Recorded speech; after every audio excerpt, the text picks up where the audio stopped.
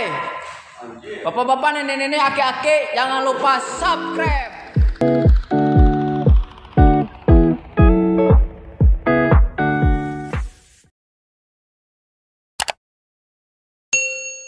jadi duta sampo lain.